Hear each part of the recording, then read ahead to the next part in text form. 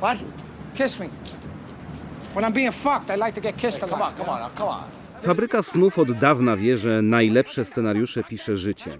W 1972 roku producent Martin Bergman wynalazł w tygodniku Life opowieść o weteranie wojennym próbującym obrabować jeden z nowojorskich banków. Trzy lata później do kin trafiło arcydzieło Sidneya Lameta zatytułowane Pieskie popołudnie.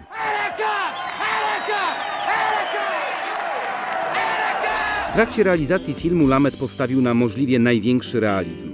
Popołudnie otwiera ciąg obrazków z życia zalanej słońcem metropolii, gdzie słupki w termometrach wskazują ponad 30 stopni w cieniu. Gdy kamera pokazuje wreszcie samochód z szykującymi się do napadu rabusiami, widz nawet nie zdaje sobie sprawy, że właśnie wylądował w samym środku akcji.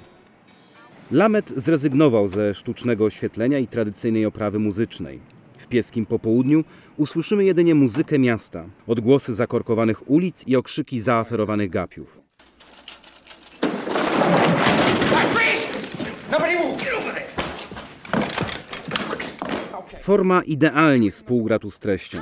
Pokazany przez Lameta napad nie ma nic wspólnego ze złodziejskimi wyczynami, do których przyzwyczaiło nas Hollywood.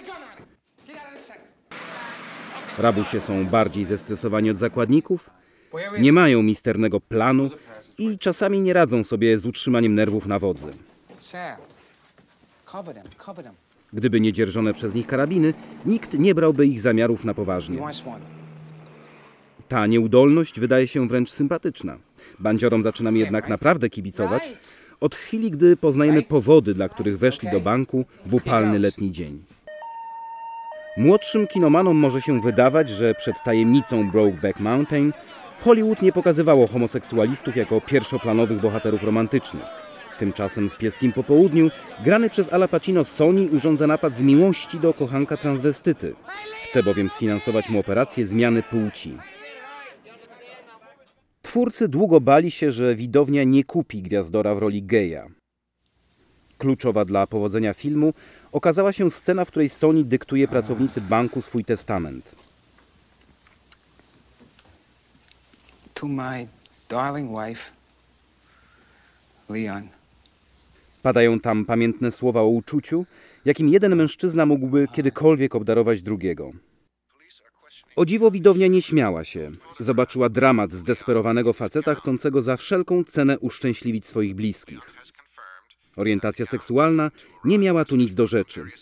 Nic dziwnego, że sprzymierzeńcami Soniego stają się zarówno jego zakładnicy, jak i koczujący przed bankiem tłum.